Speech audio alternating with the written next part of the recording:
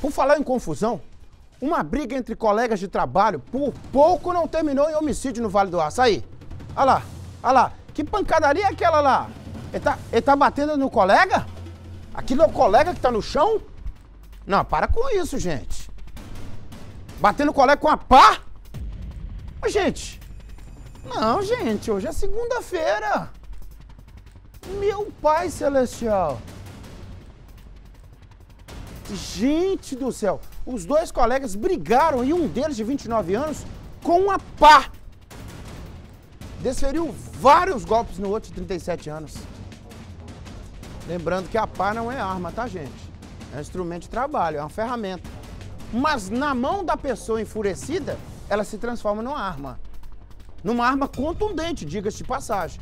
A situação foi registrada em Coronel Fabriciano e a Gisele Ferreira tem detalhe desse caso. Ei, Gisele, o que, que é isso, minha filha? Boa tarde para você. Boa tarde para você, Nico. Boa tarde para quem nos acompanha aqui no Balanço Geral. Olha só, esta confusão aconteceu no local de trabalho destes dois homens. O autor dessas agressões acabou sendo preso e confessou o motivo.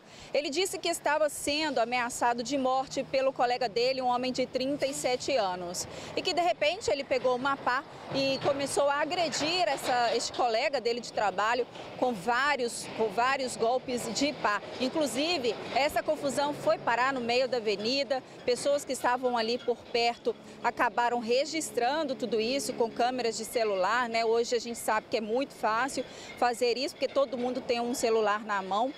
E uh, tudo foi registrado por um circuito de monitoramento de onde os dois trabalham. O homem agredido, ele foi levado a um hospital e lá ele disse que ele é quem teria iniciado as agressões. A polícia descobriu, no entanto, que a vítima, a vítima dessas pasadas, estava com um mandado de prisão aberto. Ele foi, ele ficou sob escolta policial até ele ser atendido, foi liberado e acabou que tanto ele quanto o agressor foram juntos para a delegacia de polícia civil. Nico. Gisele, obrigado. Volta a imagem aí, ô Bebiano. Porque ainda bem que aparece uma pessoa lá, aparece uma pessoa tirando, né? Olha lá, a pessoa puxando, ó. Não faz não, rapaz. Vem pra. Vem, olha lá, vem correndo, não faz não, moço. Faz não, você vai acabar com a sua vida. Ainda bem que tem uma pessoa do bem perto, né? É, ainda bem que tem uma pessoa do bem. Não, é redundante mesmo. Ainda bem que tem uma pessoa do bem para fazer o bem. Porque senão a gente faz só o mal.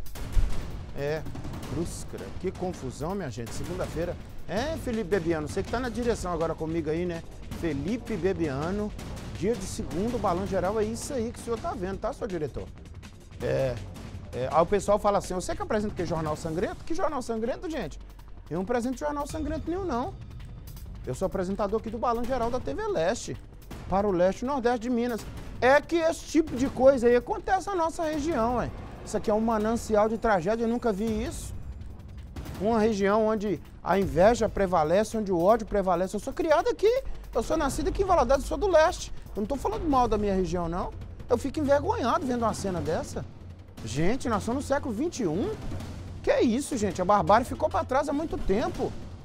Eu estudei isso lá, na, nas aulas iniciais de direito, né? História do direito, barbárie, é lei de talião, olho por olho, dente por dente, não tem isso mais não, gente. Agora nós somos um Estado aí democrático. É Estado democrático de direito, chamado assim. Se a pessoa fez uma coisa que você não gostou, vai levar isso lá ao palio da justiça para a justiça definir. Faz um boletim de ocorrência. Ah, daí para vias de fato. É pá, é facada, é pai mata filho. Ah, eu não aguento isso não, ué. Eu não aguento isso não. Segunda-feira, é, o povo ama o balanço geral mesmo. Essa audiência nossa é fiel, porque o sujeito tá com um prato de comida na mão em casa, lá quietinho na sala, prestigiando o jornal. E aí, já no primeiro bloco, esse tanto de coisa que a gente viu aqui, é porque ama a audiência mesmo. A gente não quer mostrar sangue para você não, querido. Tanto que a gente não mostra a cena lá, tá desfocado, ó. Né? É um efeito que os meninos usam ali para é, não mostrar, né? A, a vítima sendo é, alijada ali, né? Colocada numa condição de humilhação, condição ultrajante, né? Independente da discussão, né? Do mérito do início da discussão. Eu tô falando no geral. A violência tá descambada. Meu Deus. Desculpa você de casa aí, é um desabafo, viu? É um desabafo.